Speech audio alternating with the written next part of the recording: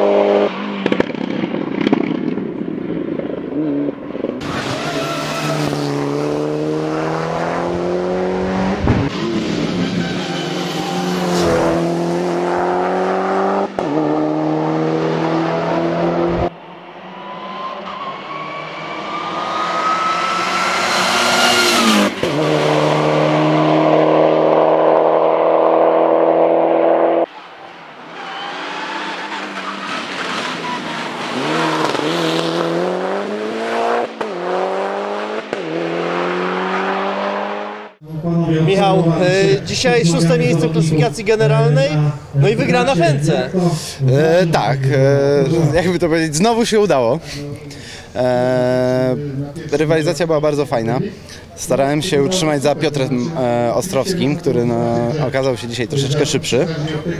E, I Marcin Gładysz również, e, dosyć nieznacznie, więc e, jutro będę starał się nadrobić e, zaległości i spróbować z nimi powalczyć. Co do grupy N, Cieszę się, że e, Krzysiek Dereń e, troszeczkę przyspieszył i, i zmienił opony już na wyścigowe, więc jest e, też troszkę fajniejsza rywalizacja.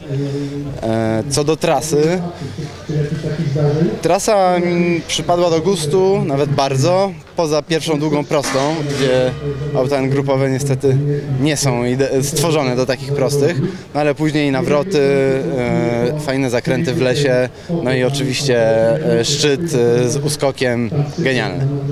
Jutro kolejny dzień i kolejna szansa być jeszcze wyżej niż dzisiaj. E, tak, no będę się starał jak tylko będę mógł. Mam nadzieję, że wystarczy nam opon e, na to. Będzie szybko.